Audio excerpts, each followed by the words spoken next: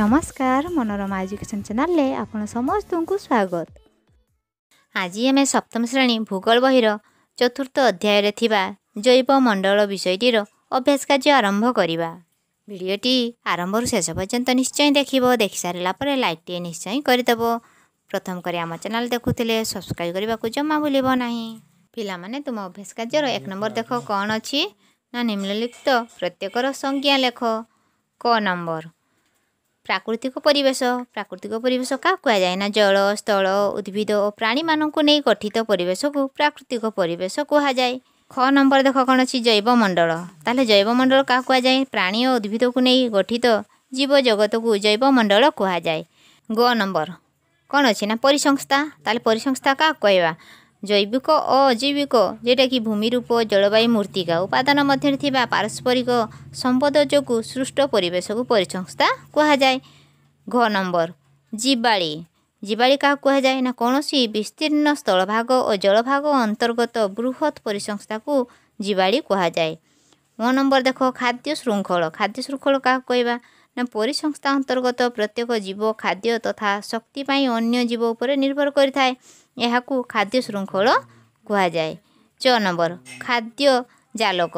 ଖାଦ୍ୟ ଜାଲକ କାହାକୁ କୁହାଯାଏ ନା କୌଣସି ପରିସଂସ୍ଥାରେ ଛନ୍ଦାଛନ୍ଦି ହୋଇ ରହିଥିବା ଖାଦ୍ୟ ଶୃଙ୍ଖଳ ଗୁଡ଼ିକୁ ଖାଦ୍ୟ ଜାଲକ କୁହାଯାଏ। ଛଅ ନମ୍ବର ମୂର୍ତ୍ତିକା। ମୂର୍ତ୍ତିକା କାହାକୁ କହିବା? କଠିନ ତରଳ ଗ୍ୟାସୀୟ ପଦାର୍ଥର ସମାହାରରେ ଗଠିତ ଭୂପୃଷ୍ଠରେ ଥିବା ସୂକ୍ଷ୍ମ ପତଳା ସ୍ତରଟିକୁ ମୂର୍ତ୍ତିକା କୁହାଯାଏ। ଦୁଇ ନମ୍ବର ଦେଖ ପାର୍ଥକ୍ୟ ଦର୍ଶାଅ। କ ନମ୍ବର କ'ଣ ଅଛି ନା କ୍ରାନ୍ତୀୟ ତୃଣଭୂମି ଓ ନାତିଶୀତୋଷ୍ଣ ତୃଣଭୂମି।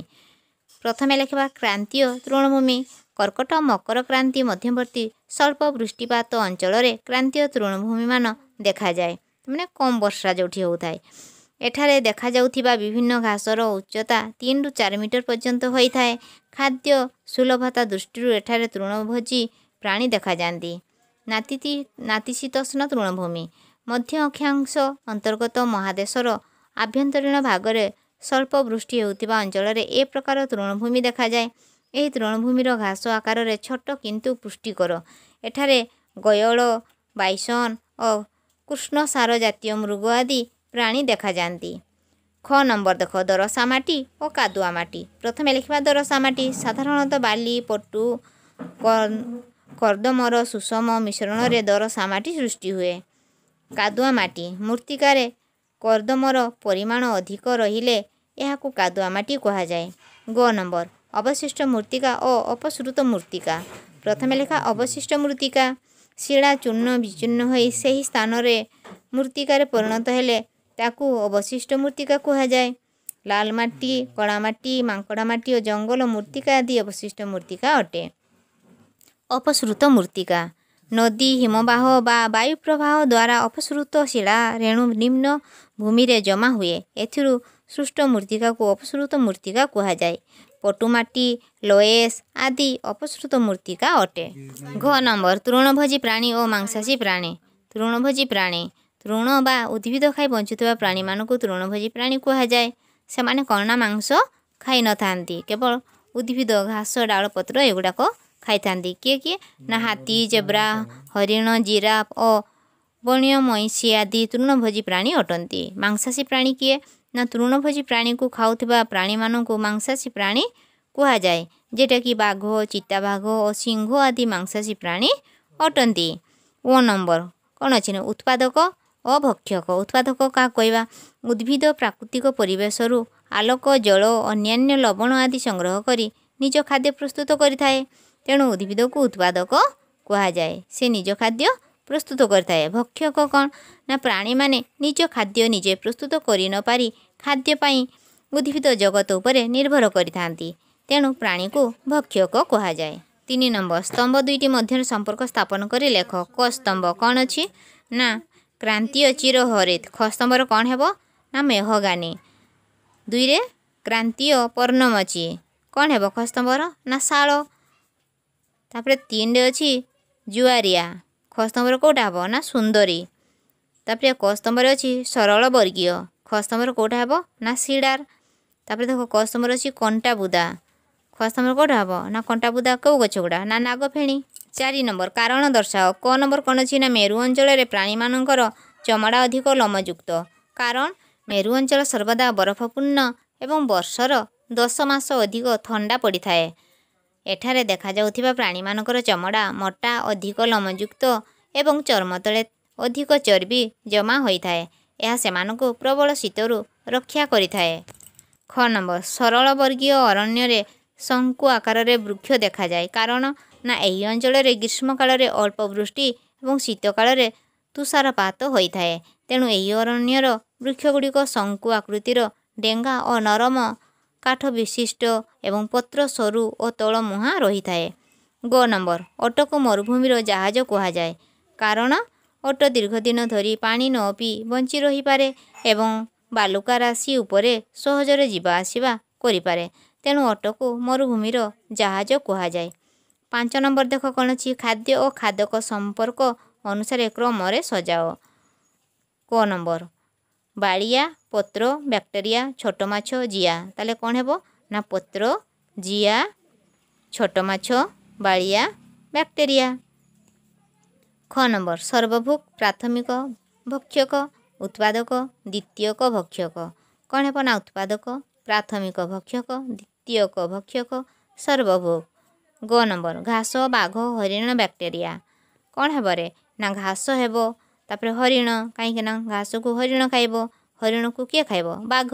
ବାଘକୁ ବ୍ୟାକ୍ଟେରିଆ। ବାଘକୁ କାହାକୁ କିଏ ଖାଇବ? ଛଅ ନମ୍ବର। ବନ୍ଦନୀ ମଧ୍ୟରୁ ଉପଯୁକ୍ତ ଶବ୍ଦ ବାଛି ଶୂନ୍ୟସ୍ଥାନ ପୂରଣ କର। କ ନମ୍ବର। ଆର୍ଜେଣ୍ଟିନାର ତୃଣଭୂମିକୁ ଡେସ୍ କୁହାଯାଏ? କ'ଣ କୁହାଯାଏ ନା? ପମ୍ପାସ୍ କୁହାଯାଏ। ଖ ନମ୍ବର। ପୃଥିବୀର ପଶୁଶାଳା ଡେସ୍ ତୃଣଭୂମି ଅଟେ? ସାଭାନ୍ନା ତୃଣଭୂମି ଅଟେ। ଗ ନମ୍ବର। କ୍ରାନ୍ତୀୟ ତୃଣଭୂମି ଅଞ୍ଚଳର ଡେସ୍ ଏକ ପ୍ରାଣୀ? କ'ଣ?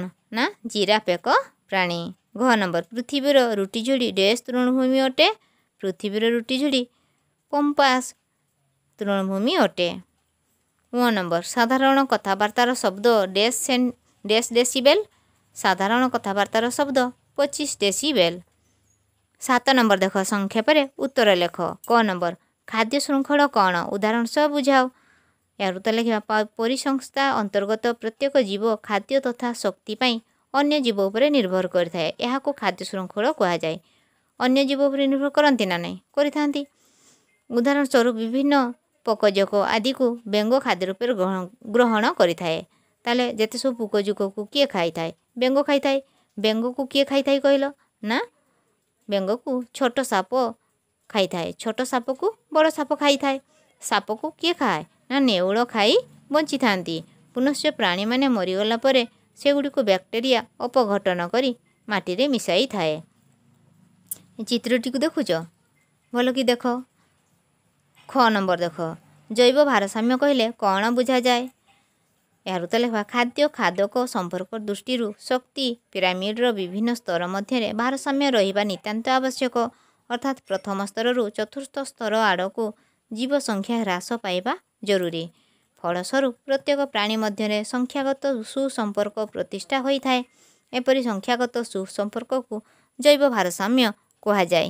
ଏ ଚିତ୍ରଟି ଦେଖିଲ ଏଇଟା ହେଲା ପ୍ରଥମ ସ୍ତର ତାପରେ ଦ୍ୱିତୀୟ ସ୍ତର ତାପରେ ତୃତୀୟ ସ୍ତର ତାପରେ ହେଉଛି ଚତୁର୍ଥ ସ୍ତର। ନମ୍ବର ଦେଖ କ'ଣ ଅଛି କେଉଁ କାରଣ ଗୁଡ଼ିକ ଦ୍ୱାରା ଜଳ ଦୂଷିତ ହୁଏ? କେଉଁ କାରଣ ନା ବଡ଼ ବଡ଼ ସହରର ନର୍ଦ୍ଦମା ଜଳ ଆବର୍ଜନା କଳକାରଖାନାରୁ ବାହାରୁଥିବା ମଇଳା ଜଳରେ ମିଶିବା ଦ୍ୱାରା ଜଳ ଦୂଷିତ ହୁଏ? କୃଷି କ୍ଷେତ୍ରରେ ବ୍ୟବହୃତ ବିଭିନ୍ନ ରାସାୟନିକ ସାର ଓ କୀଟନାଶକ ଔଷଧ ଜଳରେ ମିଶିବା ଦ୍ୱାରା ଜଳ ଦୂଷିତ ହୁଏ। ଜୀବଜନ୍ତୁଙ୍କର ପଚାସଢ଼ା ଶବ ଓ ନଳିତା ଆଦି ପାଣିରେ ପଚାଇବା ଦ୍ୱାରା ଜଳ ମଧ୍ୟ ଦୂଷିତ ହୋଇଥାଏ। ଘରୋଇ କାର୍ଯ୍ୟ ଦ୍ୱାରା ମଧ୍ୟ ଜଳ ଦୂଷିତ ହୋଇଥାଏ। ଘ ନମ୍ବର ଦେଖ ଶକ୍ତି ପ୍ରବାହ କ'ଣ? ଏହାର ତ କ'ଣ ଲେଖା ଉଦ୍ଭିଦ ମାଟିରୁ ସଂଗୃହୀତ ଖଣିଜ ଲବଣ ଏବଂ ରାସାୟନିକ ଶକ୍ତିରେ ରୂପାନ୍ତରିତ କରି ସଞ୍ଚୟ କରିଥାଏ। ତୃଣଭୋଜୀ ପ୍ରାଣୀମାନେ ଗଛର ବିଭିନ୍ନ ଅଂଶ ଖାଇ ବଞ୍ଚନ୍ତି ଓ ବଢ଼ନ୍ତି। ଫଳରେ ଉଦ୍ଭିଦରେ ଥିବା ରାସାୟନିକ ଶକ୍ତି ତୃଣଭୋଜୀ ପ୍ରାଣୀ ଗ୍ରହଣ କରନ୍ତି। ତାଙ୍କଠାରୁ ଏହି ଶକ୍ତି ମାଂସାଶୀ ପ୍ରାଣୀ ଏବଂ ମନୁଷ୍ୟ ପାଖକୁ ଯାଏ। ଓ ନମ୍ବର ଜଳ ବାୟୁ ଓ ମୃତ୍ତିକା ପ୍ରଦୂଷଣ ରୋକିବା ପାଇଁ କି କି ପଦକ୍ଷେପମାନ ନିଆଯାଇପାରିବ? ଏହାର ଉତ୍ତର ହେବ ଜନସଂଖ୍ୟା ବୃଦ୍ଧିର ନିୟନ୍ତ୍ରଣ ଜଳ ଖଣିଜ ଲବଣ ଓ ଅନ୍ୟାନ୍ୟ ଖଣିଜ ଦ୍ରବ୍ୟର ନିୟନ୍ତ୍ରିତ ବ୍ୟବହାର ଜଙ୍ଗଲ କ୍ଷୟ ହ୍ରାସ ଓ ନୂତନ ଜଙ୍ଗଲ ବୃଦ୍ଧି ବନ୍ୟଜନ୍ତୁ ଶିକାର ନିୟନ୍ତ୍ରଣ ଓ ଲୁପ୍ତପ୍ରାୟ ଜୀବମାନଙ୍କ ପାଇଁ ଅଭୟାରଣ୍ୟ ବା ଜାତୀୟ ଉଦ୍ୟାନ ସୃଷ୍ଟି। କଳକାରଖାନାରୁ ବାହାରୁଥିବା ଆବର୍ଜନାର ପୁନଃଚକ୍ରଣ। ଜୀବଜନ୍ତୁଙ୍କ ମଳ ଓ ଅନ୍ୟାନ୍ୟ ଆବର୍ଜନାରୁ ବାୟୋଗ୍ୟାସ୍ ଓ ଜୈବିକ ସାର ପ୍ରସ୍ତୁତି ତଥା ଅନ୍ୟାନ୍ୟ ବିନିଯୋଗ ହାନିକାରକ ରାସାୟନିକ ସାର ଓ କୀଟନାଶକ ଔଷଧର ନିୟନ୍ତ୍ରିତ ବ୍ୟବହାର ଜୈବିକ ସାର ଓ ଜୈବ କୀଟନାଶକ ବହୁଳ ବ୍ୟବହାର ଉପରେ ଗୁରୁତ୍ୱ ଯାନବାହନ ଚଳାଚଳ ପାଇଁ ବିଦ୍ୟୁତ୍ ଶକ୍ତି କଳକାରଖାନାରୁ ନିର୍ଗତ ଧୂଆଁକୁ ବିଶୋଧିତ କରି ବାୟୁମଣ୍ଡଳରେ ଅଙ୍ଗାରକାମ୍ଳ ଗ୍ୟାସ୍ ବୃଦ୍ଧିକୁ ରୋକିବା ଶବ୍ଦ ପ୍ରଦୂଷଣ ରୋକିବା ପାଇଁ ସଚେତନ ସୃଷ୍ଟି କରିବା। ଆଠ ନମ୍ବର ଦେଖ କ'ଣ ଅଛି? ନା ବାକ୍ସ ମଧ୍ୟରେ କେତେକ ପ୍ରାଣୀ ଓ ଉଦ୍ଭିଦ ଲୁଚି ରହିଛନ୍ତି। ଖୋଜି ବାହାର କର। ଏ ଯେଉଁ ବାକ୍ସଟି ଦିଆହେଇଛି ଦେଖୁଛ? ଏଇଠି କିଛି ପ୍ରାଣୀ ଓ ଉଦ୍ଭିଦ ଲୁଚି ରହିଛନ୍ତି। କେଉଁ କେଉଁ? ପ୍ରାଣୀ କହିଲ? ନା କୋକିଶିଆଳ ଜେବ୍ରା ସିଲ୍ ଆନାକଣ୍ଡା ମିକ୍ସ ଧଳା ଭାଲୁ ଆଣ୍ଟିଲୋପ୍ ୱାଲରସ୍ ଉଦ୍ଭିଦର କ'ଣ ହେବ ନା ଦେବଦାରୁ ଅଲିଭ୍ ସିଡ଼ାର ଶାଳ ଓକ୍ ଫର୍ ଚେଷ୍ଟନଟ୍ କାକ୍ଟସ୍ ଜଳପାଇ ଏଗୁଡ଼ା ସବୁ ହେବ ଆହୁରି ବି ତୁମେ ଲେଖିପାରିବ ତାପରେ ନଅ ନମ୍ବର ପୃଥିବୀର ରେଖାଙ୍କିତ ମାନଚିତ୍ର ଅଙ୍କନ କରି ତୃଣଭୂମି ଗୁଡ଼ିକ ଦର୍ଶାଅ ଦେଖ এই ତୃଣଭୂମି ଗୁଡ଼ିକ ଏଠି ଦର୍ଶାଯାଇଛି ଚିତ୍ରଟିକୁ ଦେଖି ଦେଖି ତୁମେ ମଧ୍ୟ ଏମିତି କରିନେବ ଧନ୍ୟବାଦ